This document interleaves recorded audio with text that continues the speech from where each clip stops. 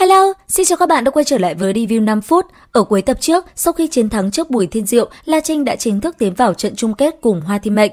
Ngay khi cuộc chiến vừa bắt đầu, diễn biến đã diễn ra vô cùng gay cấn. Suốt cuộc, dưới sự thất kinh của tất cả mọi người, kiếm si Hoa Thiên Mệnh đã rút ra kiếm của mình để cùng La Trinh giao thủ.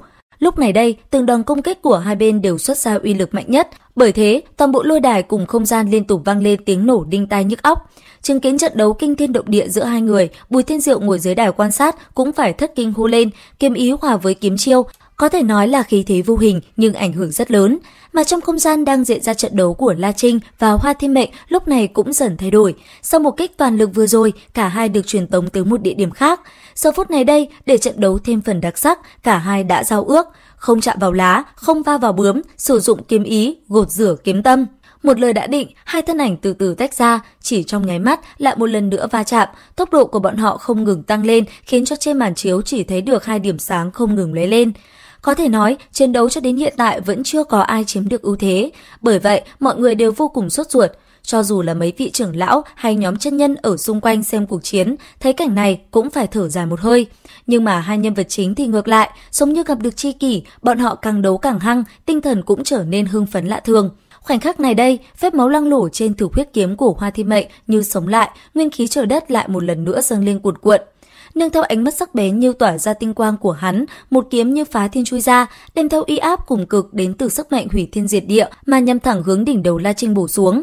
Lúc này, La Trinh rõ ràng cảm nhận được áp bức mãnh liệt, nhưng không vì thế mà cảm thấy sợ hãi. Phẩy rồng trong cơ thể hắn đã thắp sáng toàn bộ. Thanh âm của Thanh Long cũng lập tức vang lên bên tai hắn. Không ngờ trong chiến đấu người lại ngộ ra thiên sát kiếm đạo. Trên thế giới này, chẳng mấy thứ có thể làm chân Long xúc động.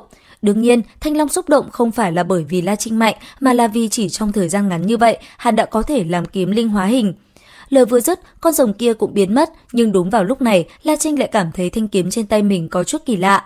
Ngay sau đó, từ trên thân kiếm mơ hồ xuất hiện quang mang màu đỏ. Sau đó, một thân ảnh bất ngờ hiện ra trước sự thất kinh của La Trinh. Cảm nhận đầu tiên của hắn là cô gái này vô cùng xinh đẹp, nhưng ánh mắt lại sắc bén như đao, thoạt nhìn giống như là một ngọn núi lửa sắp phun trào. Cho dù nàng là kiếm linh biến thành nhưng vẫn mang dung nhan mỹ lệ. Hơn nữa, trên người nàng còn tỏa ra sắc khí kinh người. Vừa xuất hiện, thân ảnh diễm lệ kia đã tiến sát lại gần La Trinh. Lúc này, anh ấy còn chưa hoàn hồn, tiếp xúc cùng nữ nhân ở khoảng cách gần như vậy, có chút mất tự nhiên. Bởi thế, thanh âm lấp bóc vang lên nói, cô muốn làm gì? Đối diện với một lời này, ánh mắt mỹ nhân kia dần trở nên ngoan độc, sau đó lên tiếng. Không kính bổn vương, đáng bị ăn đòn. Nương theo lời nói của nàng ta vừa chấm dứt, hư ảnh lưu quang kiếm trong không trung bất ngờ rung động, sau đó phóng về phía La Trinh. La Trinh bất quá, chỉ có thể dùng kiếm ý mạnh mẽ đón đỡ. Sau một kích va chạm, cô gái kia thất kinh hô lên. Kỳ quái, kiếm pháp này của ngươi dường như là kiếm pháp căn bản. Không phải, kiếm pháp này như đã được cải tiến. Làm sao có thể? Đơn giản hóa đến trình độ này rồi sao? Sắp mặt nàng trở nên vô cùng khiếp sợ, có vẻ như không thể lý giải được kiếm pháp La Trinh thi triển ra. Sau một hồi lời quay ý lại, suốt cuộc cô gái kia cũng hoàn toàn bị La Trinh chinh phục. Bởi thế, nàng quyết định sẽ chung sống hòa bình với hắn. Nãy giờ, quá trình diễn ra tưởng chừng rất lâu, nhưng thật ra chỉ trong vài lần hô hấp. Vừa vặn khi một kiếm phá thiên của Hoa Thiên Mệnh đánh tới trước mặt thì La Trinh cũng lập tức dùng lưu quang kiếm đón đỡ. Chỉ thấy trên lôi đài, từ trên kiếm của La Trinh bất ngờ xuất hiện một bóng dáng đỏ rực, hơn nữa còn mỹ lệ vô cùng.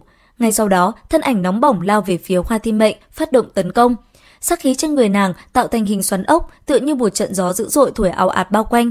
Sau đó, nó bắt đầu cuốn xiết về phía kiếm si Hoa Thiên Mệnh bởi tốc độ cực nhanh. Lúc La Trinh vừa phóng kiếm linh ra, Hoa Thiên Mệnh thật sự không quá bận tâm, điều hắn cần làm là tập trung khống chế thực huyết kiếm của mình. Còn kiếm linh kia, cho dù nàng cầm lưu quang kiếm thì cũng chẳng thể tạo thành uy hiếp quá lớn, hắn chỉ cần né tránh một chút là được. Nhưng Hoa Thiên Mệnh ngàn vạn lần không ngờ kiếm linh của La Trinh lại có thể sử dụng chiêu kiếm, hơn nữa còn là chiêu kiếm quái dị như vậy. Chiêu kiếm này là gì? Rõ ràng là một điệu múa, nhưng trong đó lại ẩn chứa chiêu kiếm, chứng tỏ đây là một loại kiếm vũ. Trong tình thế không hiểu được kiếm vũ lạ thường của đối thủ, Hoa Thiên Mệnh chỉ có thể dùng toàn bộ sức lực để đối phó. Chân nguyên trong cơ thể hắn nháy mắt sôi trào, thực huyết kiếm trên tay cũng nương theo đó mà rung động mãnh liệt. Hiển nhiên, một cách tiếp theo đây chính là để phân thắng bại trong cuộc chiến này. Đến đây thì cũng hết tập 61 Bách luyện thành thần. Xin chào và hẹn gặp lại các bạn ở những video tiếp theo.